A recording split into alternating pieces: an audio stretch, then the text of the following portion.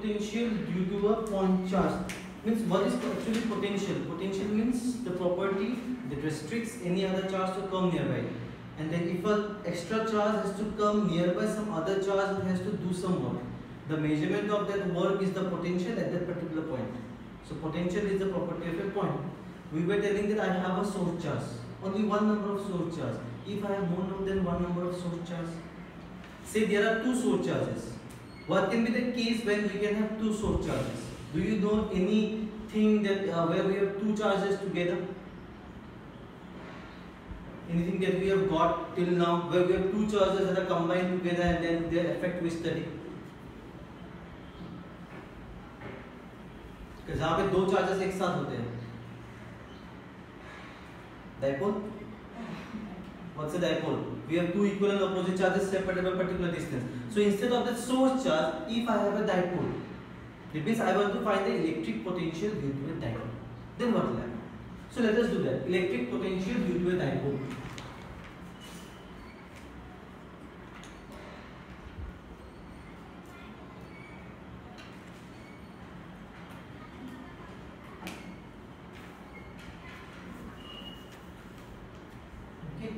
First let us do if they, we need to find the electric potential at a point on the axial line because we have two lines axial line and equatorial line. So first point of observation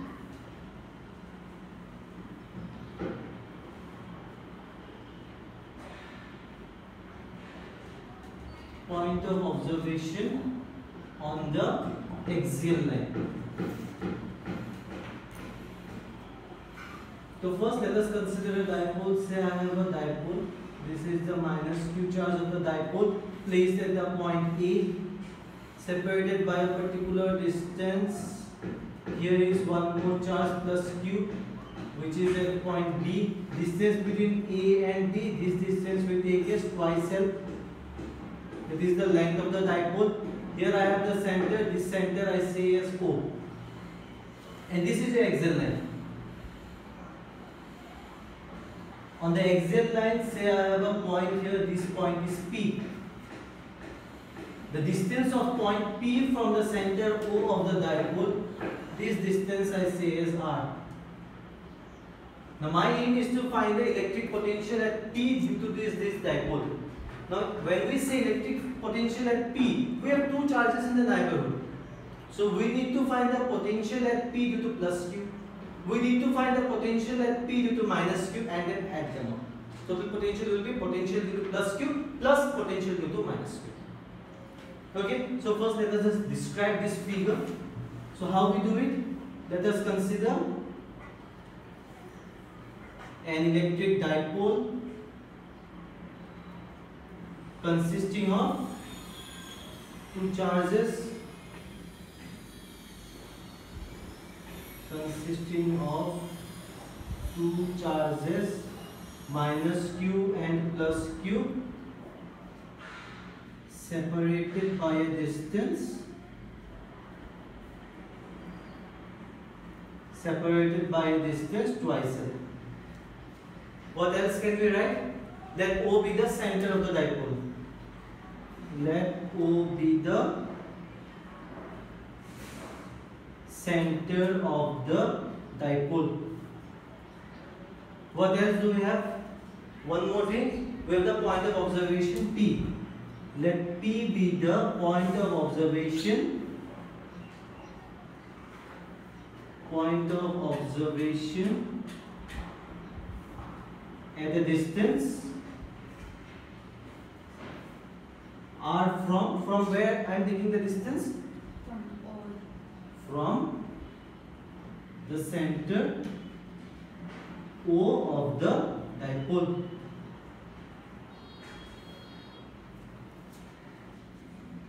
Okay.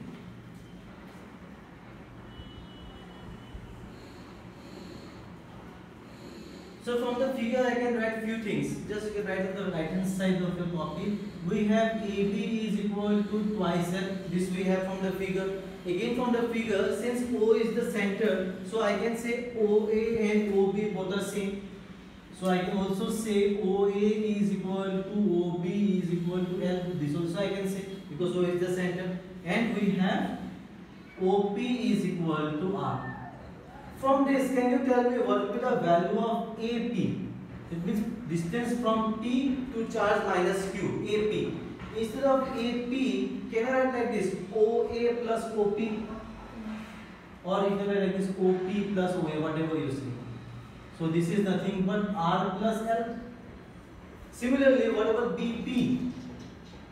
BP can be written as OP minus OB or you can say R minus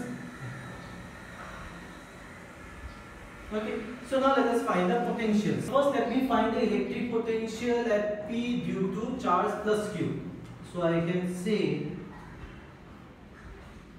electric potential at P due to charge plus Q. If I add this, what would the formula? Say I give it V1. V1 will be 1 by 4 pi epsilon naught Q plus Q because charge is positive, so plus Q divided by the distance. What is the distance? It is your BP. Our formula was 1 by 4 pi epsilon naught Q by R, the formula for potential. So just the distance BP. So I can write this as V1 is nothing but 1 by 4 pi epsilon naught Q by BP. What is the value of BP? R minus L. Similarly, I can find the electric potential. Electric potential at P due to charge minus Q. Due to charge minus Q. So now what will be the potential? V2 is equal to 1 by 4 pi epsilon naught charge plus Q or minus Q or minus Q. Because since we are taking potential, so we need this minus. Divided by distance, what is the distance? R plus. Oh, the one is the one that I'm talking about. Ah, this should be minus. So ultimately the potential becomes negative. Okay. So if I now find the total potential, therefore total potential, total electric potential at P.